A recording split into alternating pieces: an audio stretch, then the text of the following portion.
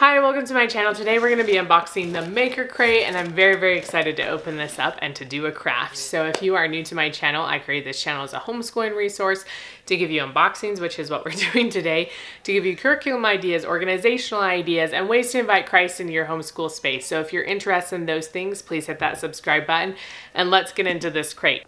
Okay, so I'm really excited because originally I wasn't going to get a Maker Crate for May because my shipping was all messed up and then this one was out of stock but then it miraculously shipped. So now I have to do lots of crafting. So I'm gonna have to try to see if I can get all these things done. But this one is paper mache pinatas. So play with shape and color to create party perfect pinatas. And so my kids are gonna love this. They always want pinatas for their birthday and I'm always like, nah. I'm such a nice mom. So they're gonna they're gonna think this is so great. Let me hold this up. This box has been through the wringer. I honestly don't know what happened to it, but it's like all bent all over the place. So that's our pinatas. So those look fun. Little cactus looking things over here. Oh, this one. This looks cool, like a big disco ball. That one's super fun. So this has a bunch of ideas. Oh, ice cream cones, that's cool too. And then it has our instructions down here as far as the website you can go or you can just scan it to get it. But that looks super fun. So there's a bunch of ideas in here. I'm not great at coming up with my own ideas. I'm really good at copying other people's ideas though. And then we have this little container probably for our paper mache to go in. It's kind of taped down, but it has some string in it. It has balloons. It has some long skinny balloons my husband will probably be blowing up all the balloons. I hate blowing up balloons and I'm not very good at it. I feel like as a child I was a lot better. I just must have no lung capacity. You'd think I would because I work out all the time, but not for blowing up balloons, I don't. And then there's a little push pin in here. There's a popsicle stick. So there's a few things in there. Oh, maybe we just get to use this. Save my lungs. Here we go. so that's fun. So we get our little blower upper thing. Sorry if you can hear my kids. They're like running all over the place and it's almost lunchtime, so they just might be loud in the background. And then we have these little toilet paper looking things this up there, thicker than the toilet paper. And then tons of tissue paper right here. Tons and tons of colors. So that will be fun. And then this looks like just the normal paper. So I wonder if, you know, we put this on first, paper mache, the balloon, and then put that onto the tissue paper to decorate it. Decorate it. that was weird. and then this is the gold. Maybe it's a silver too. Because this one, this one's calling my name. I'm not like a shiny glittery person, but that looks super fun. So maybe we'll do that. Lots and lots of white glue. We're gonna need that stuff. And this says fringe scissors. So I don't know what fringe scissors, scissors, scissors look like. Whoa, Whoa. you can't even see them. Look at that. Look at those scissors. Those are cool. I feel like I've seen these before, but I don't know. I'm fascinated. This is super fun. So they're like 500 scissors all in one. I don't think there's anything else, just foam in there. And then, sorry, there's people working in our basement as well as my kids. And outside there's people doing construction, so there's a lot of noise going on today, but I had to film today, so sorry, we just get a lot of noise. And then a paintbrush to put all of the glue on. And then this must be just decorations to add. I'm not really sure what all this is for, but we'll, we'll see. We'll see how it goes. And then we have some mess mats right here, and then we have some bigger pieces of tissue paper. So I'm not sure what all of these are gonna be used for either. But there's a bunch of stuff in here. It looks like a lot of fun. I'll just have to find some time now to do this craft and the next one that's gonna be coming soon for July. Well, it's technically June, I guess. Anyway, so I'm gonna get to work on this and I will let you know how it goes.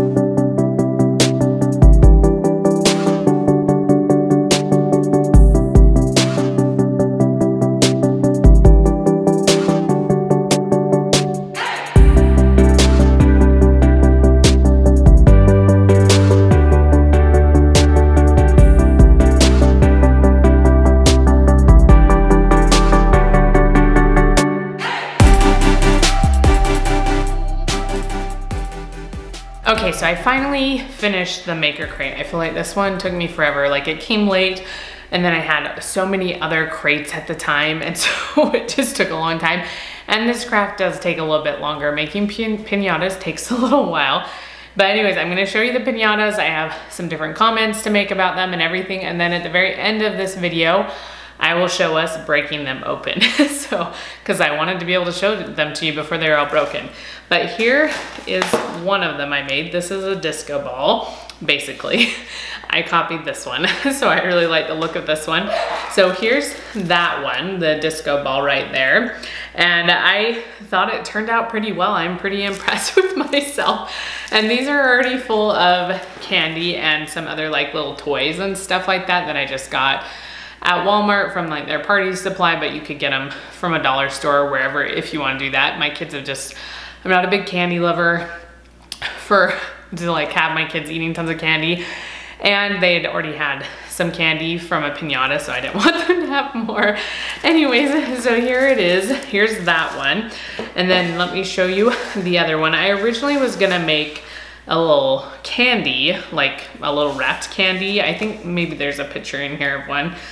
Yeah, so kind of somewhat similar to this, but then after I got all the paper mache done, I realized I didn't put these little ends on it which allow you to put the tissue paper on the sides so that it will stick out. So since I forgot to do that, we made it into a pineapple.